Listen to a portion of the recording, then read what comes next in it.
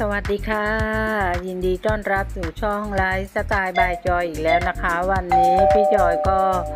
มาในเรื่องของธนบัตรอีกแล้วนะคะ วันนี้เป็นธนบัตร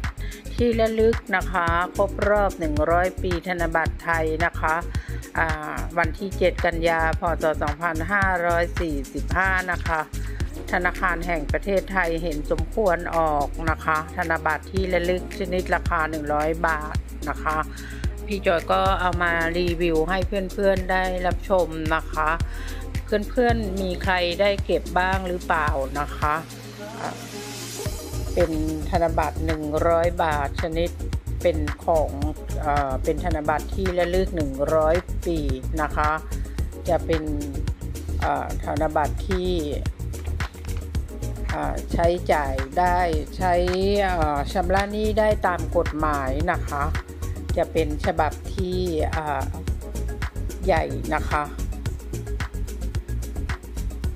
ก็จำนวนผลิตนะคะก็ผลิตออกมาประมาณ 15 ล้านฉบับนะคะ ด้านหน้าภาพประธานคือพระบรมสาราลักษ์ของพระบาทสมเด็จพระเจ้าอยู่หัวรัชกาลที่ 9 นะคะคู่กับพระบาทสมเด็จพระเจ้าอยู่หัวรัชกาลที่ 5 ในฉลองพระองค์ชุดสากลนะคะ แบบนี้เลยนะคะ ความกว้างของธนบัตรก็ 10.50คูณ16.50เซนติเมตรนะคะ ก็ค่อนข้างที่จะใหญ่นะคะ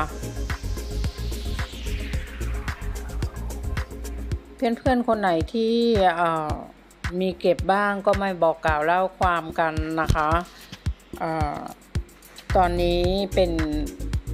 ชนิดราคา 100 บาท แต่ว่าในการที่อ่าเพื่อนๆนักสะสม ก็มีการประเมินราคากันนะคะ ถ้าเป็นถ้าจะเป็นของ UNC ที่เป็นเลขตองนะคะ ก็อยู่จะประมาณ 4,000 ถึง 4,300 บาทนะคะ ถ้าเป็นเลขธรรมดาสภาพ UNC นะคะ หรือว่าสภาพที่ไม่ผ่านการใช้งานนะคะ ราคาก็อยู่ประมาณ 160-180 บาทนะคะ ก็เกินหน้าธนบัตรไปแล้วนะคะ อย่างของพี่จอยก็จะเป็นเลขธรรมดานะคะ ไม่มีเลขตองเนาะนะคะด้านหลังก็จะเป็นมีตรา มีตราแผ่นดินนะคะ เขียนว่าราชบาลสยามเนาะแล้วก็เขียนว่าสัญญาจะจ่ายเงินให้แก่ผู้นำธนบัตรนี้มาขึ้นเป็นเงินตราสยามนะคะ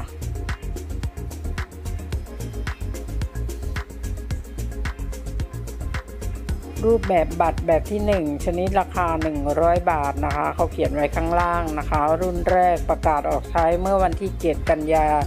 พุทธศักราช 2445 นะคะ ข้อมูลด้านหลังของธนบัตรใบนี้นะคะ